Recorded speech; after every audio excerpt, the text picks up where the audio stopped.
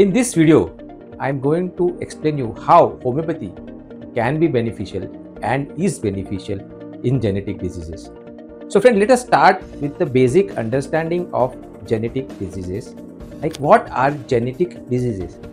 So friend, genetic diseases are diseases of the gene that is gene which is the basic building block of every human organism. A gene which is responsible for development of formation of various proteins in the body which in terms helps in different functioning of the organs and a proper functioning of the human being. So genes are the basic building block which regulates each and every function in the human organism and then once this gene is mutated that means this gene is defective it leads to genetic diseases